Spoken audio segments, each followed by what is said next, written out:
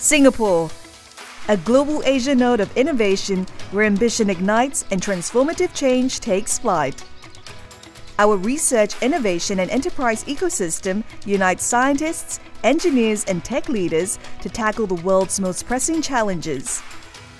In our quest for sustainability, we are redefining clean energy, steering Singapore towards a greener future.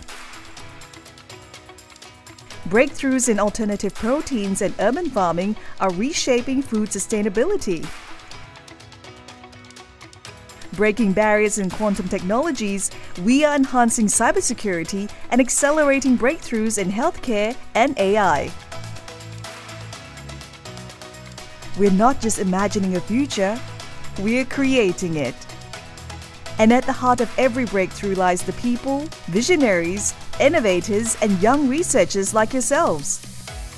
We create platforms where ideas flourish and collaborations go beyond borders to transform challenges into opportunities.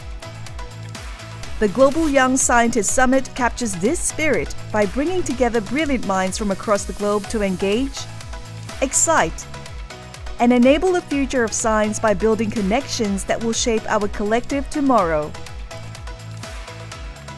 This summit is a platform for building bridges between disciplines, generations, and nations. The beauty of GYSS is that it is an interdisciplinary summit, which means that you get to have access to different perspectives across different participants in the summit. You actually help to foster connections, establish contact, and to enhance collaboration between everyone from across the world.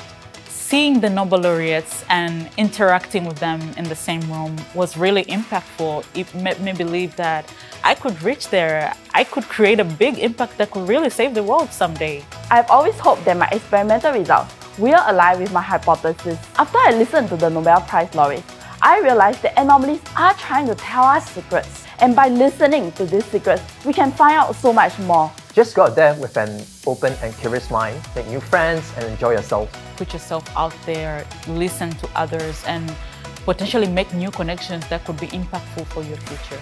My suggestion is to not focus on the technical complexities, but to hear the entire story.